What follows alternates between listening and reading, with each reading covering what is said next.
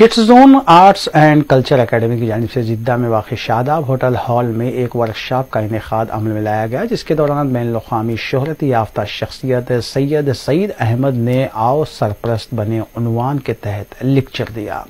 Academy کے بانی اور صدر رشید عثمانی نے بتایا کہ مذکورہ ورکشاپ میں مختلف عنوانات کا احاطہ کیا گیا اور شرکا کو سوالات کا موقع دیتے ہوئے تشفی بخش جوابات بھی دیے گئے۔ عبداللہ متین کی خیرات کلام پاک سے ورکشاپ کا آغاز ہوا، جبکہ اس موقع پر متین عثمانی الاسلام group doctor Saeed Haroon, secretary kids zone academy, Sheikh Ali media secretary کے علاوہ، خادر میمن و دیگر بھی موجود تھے۔ رشید عثمانی نے مہمان و شرکا کا خیر مقدم کیا اور مہمان مقرر کا تعارف بھی پیش کیا۔ گھومنے کا ہی پلان ہوتا ہے۔